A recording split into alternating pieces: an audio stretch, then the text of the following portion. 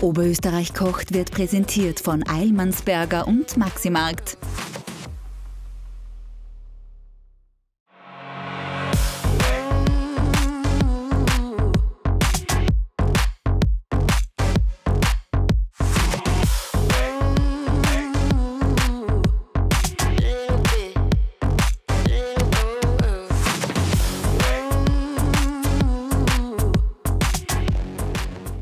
Herzlich willkommen zu Oberösterreich kocht. Schön, dass Sie wieder mit dabei sind. Wir dürfen Sie aus dem Eilmannsberger Küchenstudio in Rohrbach begrüßen und neben mir Oberösterreichs Skiass Nummer 1, Elisabeth Reisinger. Christi, Lisi. Hallo. Servus. Bist du Elisabeth, bist du Sissi, bist du Lisi? Daheim bin ich die Elisabeth und beim Skifahren die Lisi. Lisi, okay. Du machst heute Zwetschgenknödel, Genau, mit Topfenteig. aber nicht irgendein Rezept, sondern das Rezept von Der Mama. der Mama. Gut, die schaut uns jetzt auf die Finger. Wie heißt die Mama? Roswitha. Christi Rosi, ich hoffe, du verzeihst uns, falls was daneben geht, aber ich glaube, wir sind top vorbereitet. Dass du überhaupt Zeit hast, dass du jetzt zum Kochen kommst, weil du bist ja eigentlich voll einteilt. Es geht jetzt nach Chile, Weltcup, einen Monat früher als wie sonst. Also eigentlich hast du Ja, einen also dichten Plan, oder? eigentlich eh gut versorgt in die Hotels. Da Ja. geht es uns immer recht gut. Und im Sommer muss ich natürlich auch irgendeine Verköstigung haben und da bleibt nichts aus als wir kochen. Ja, ist eh klar. Äh, Zwetschgenknödel, ich habe gesagt, wir tanzen in Kernen. Du hast gesagt, äh, Normal muss nicht, aber es, es ist in Ordnung. Ist in Ordnung. Gut, dann mache ich das und du sagst unseren Sehern ganz genau, wie du das zusammenmischst. Mhm. Ist eigentlich äh, so Zwetschgenknödel was, was bei euch ganz normal auf der Karte steht bei den Sportlern oder ist das eher Ausnahmegericht? Ähm, eher Ausnahme, sage ich, weil im Hotel ist doch eher selten, wenn wir das, das kriegen. Aber dann umso gerne ist es dann, wenn ich heimkomme. Ist eh klar. Und freue mich natürlich, wenn ich dann am besten bei der Mama die Zwetschgen oder Marillenknödel essen kann. Also erst In mal Butter. Butter aufmixen. Genau.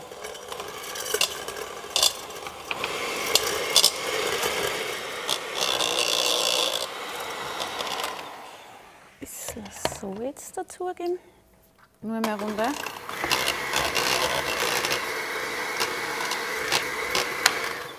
Dann schlagen wir ein Ei dazu. Wer hat dir das Kochen beibracht? Boah, eigentlich viel von der Mama gelernt. Schau. Ja. Und so probiert. Ja.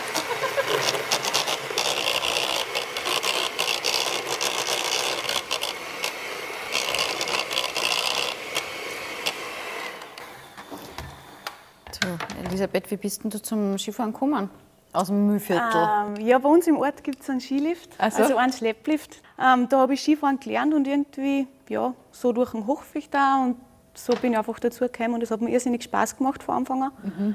Und dann habe ich mich auch dazu entschieden, dass ich in die Skiabteilung nach Windischgasten gehen mag. Ja. Und ja, irgendwie so ist das dann immer mehr geworden. Dann bin ich nach Stams ins Skigymnasium. Und so Welcher das Ort ist das, aus dem du kommst? Ähm, Peilstein im Mühlviertel. Ganz liebe Grüße nach Beilstein. Danke, dass ihr die Elisabeth da gefördert habt, mehr oder weniger. Mehl dazu? Ja, bitte. Was nimmt man da jetzt für ein Mehl dazu? Ähm, das ist jetzt ein Weizenmehl, aber man kann genauso ein Dinkelmehl nehmen. Mhm. Kommt man da so.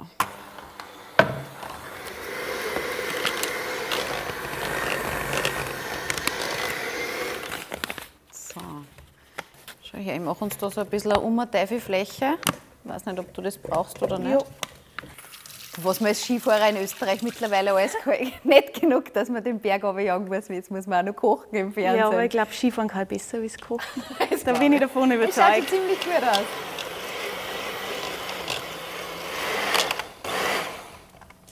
Bist du zufrieden? Ich glaube, das soweit passt. So, und da hat jetzt die Mama gesagt, Rolle formen und dann runterschneiden. Genau, und die Rolle darfst jetzt du formen. genau, weil du Angst hast, dass das jetzt komplett in die Binsen geht. Gell? Ja, weil ich mich nicht dreckig machen will. Ich habe mir gedacht, ihr Skifahrer habt Angst vor gar nichts. Aber heuer habt ihr ja eine besonders herausfordernde Saison, gell? Ja, also erstens, es geht früher los als Ja, sonst. Es ist ein Monat früher der Start. Was heißt das für die Skifahrer? Ähm, ja, dass die Vorbereitung einfach passen muss. Mhm. Aber im Großen und Ganzen ist jetzt nicht, nicht viel Umstellung, weil man einfach eh immer am Trainieren ist und immer, immer schaut, dass man fit ist. Mhm. Und dann steht natürlich auch ein großes Ereignis an die Saison, Ja. die WM. Und bist du aufgeregt? Ähm, naja, aufgeregt, also es wäre auf jeden Fall ein Ziel, dass ich da dabei sein kann. Dass man sich qualifiziert dafür, Genau, gell? das ist in Österreich sind einfach sehr gute Mädels, Mhm. was da fahren wollen oder jede fahren könnte. Ja. Aber das ist natürlich ein großes Ziel für die Saison. Wir halten dir die Daumen, oder? Wir Oberösterreicher, da halten wir zusammen. So, ich leg da los. Wir Und los. Aus sportlichen Gründen verzichten wir auf den Würfelzucker in der Mitte Genau. von der Zwetschgen. Das kann man nachher drüber lassen. So, Liebes, dann gehen wir es an. Schauen wir, dass das gut wird. Aber es ist auch eine, eine spezielle Weltcup-Saison heuer. Gell? Wo startet ihr? In Zermatt. Zermatt Cervino, genau. Das Mhm. ist das erste Rennen am Gletscher. Der Start ist in der Schweiz und dann geht das Ziel nach Italien um. Mhm. Ähm, das hat es bis jetzt so noch nie gegeben. Ähm, sind wir gespannt. Also es ist für jeden Neuland. Wie motivierst dich du?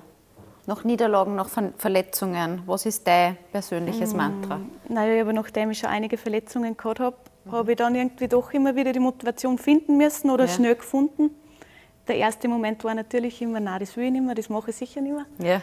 Aber es ist dann eigentlich so spätestens nach der Operation meistens oder nächsten Tag ist das eigentlich oft wieder verflogen, weil man einfach ja, doch sehr viele positive Erinnerungen auch immer im Sport hat. Oder vor allem auch die Erfolge und das war für mich eigentlich immer die Motivation und ich habe gewusst, so, ich bin noch nicht am Ende, ich, ich kann mehr als was ich gezeigt habe bis jetzt. ja. Und das ist für mich auch das Ziel, dass ich das, dass ich das noch zeige und ich glaube, dass ich da, dass ich da sicher noch, noch viel zeigen kann, was ich noch nicht gezeigt habe. Wir halten da ganz fest die Daumen und glauben ganz, ganz fest an dich. Das alles gut. Und jetzt geht es aber erst einmal nach Chile aufs Trainingslager, oder? Genau, bei uns geht es jetzt dann drei Wochen nach Chile. Ja, sehr wichtiger Teil von der Vorbereitung, weil es einfach vor allem Speed trainieren richtig gut ist da drüben. Das ist in Europa, vor allem heuer mit den Schneeverhältnissen einfach nicht möglich, weil sehr wenig Schnee ist auf die Gletscher.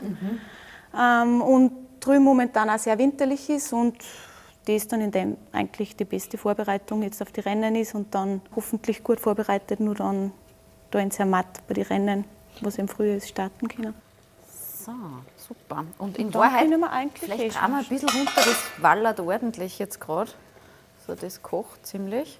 Und jetzt werden diese Knödel im Wasser gekocht.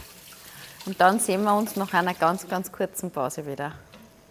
So.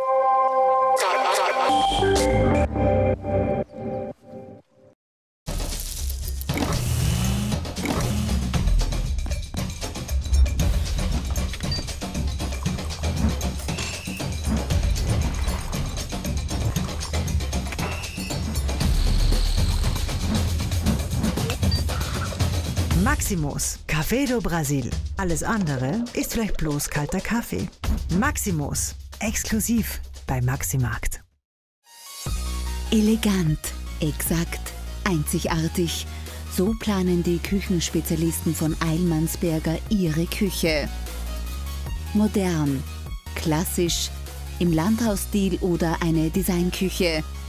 Überzeugen Sie sich im 600 Quadratmeter großen Schauraum in Rohrbach. Eilmannsberger. Am Ende schreibt man Küche mit E.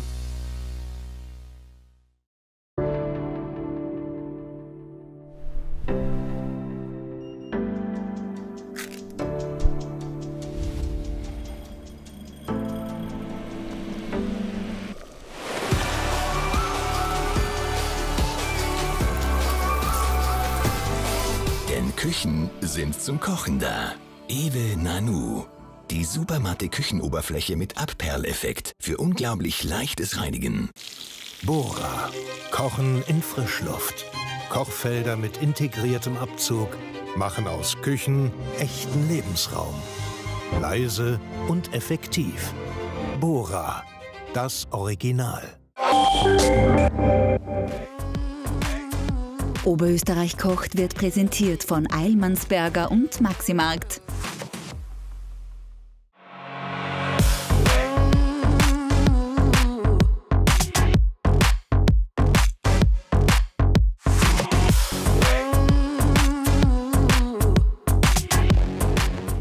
Ja, herzlich willkommen zurück bei Oberösterreich kocht aus dem Eilmannsberger Küchenstudio. Heute kocht für Sie Elisabeth Reisinger, Oberösterreichs Skiass Nummer 1.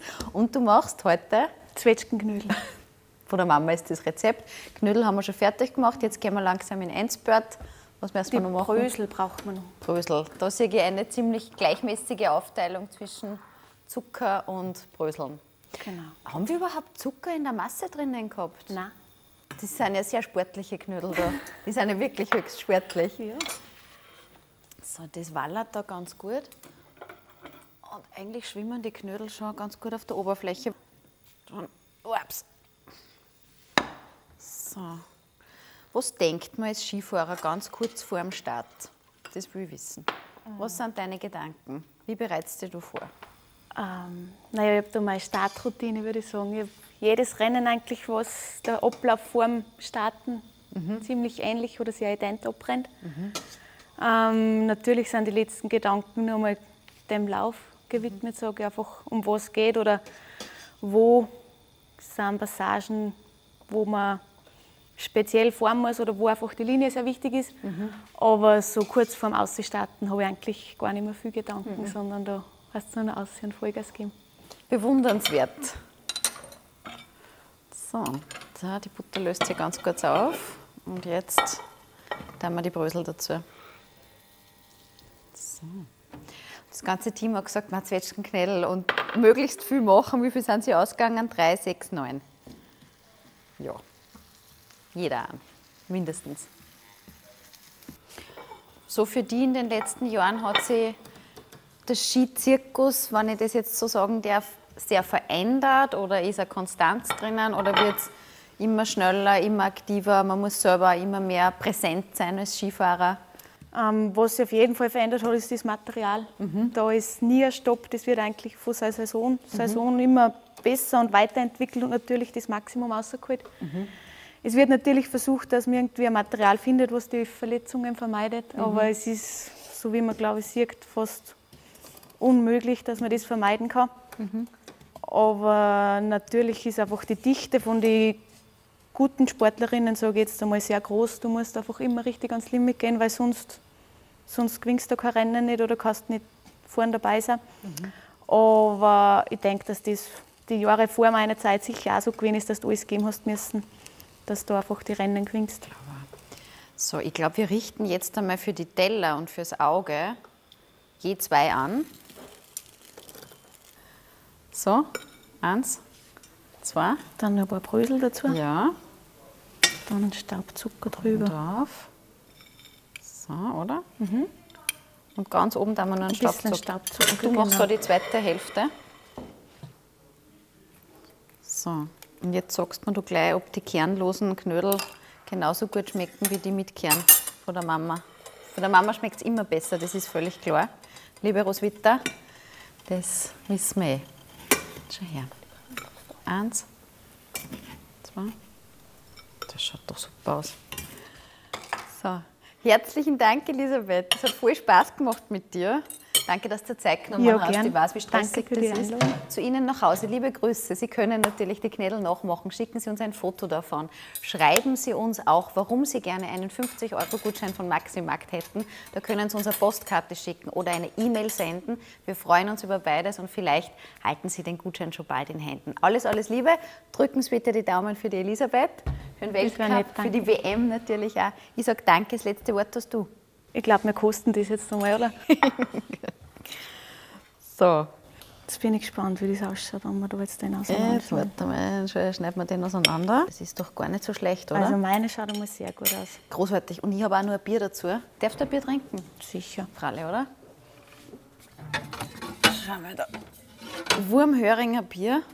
Ein Märzen mit einem toll malzigen Geschmack. Das ist fein. Schau her. Da. Unsere Seher denken sie, wie kann man nur ein Bier jetzt zu zu den Knädel servieren? Wie geht denn das zusammen? Alles geht. Alles geht. Prost auf dich, auf deine Erfolge. Alles Gute. Danke. Prost auf Sie. Gut. Fein, fein. Schön sprudelig. Und jetzt Knädel dazu. Und ich glaube, wir haben es ganz gut hingekriegt. Mit der Konsistenz sehr fein. Ordentlich Zucker drauf. Jetzt bin ich gespannt, ob da zu wenig Zucker ist. Ich würde sagen, das passt, oder? Mega. Danke dir.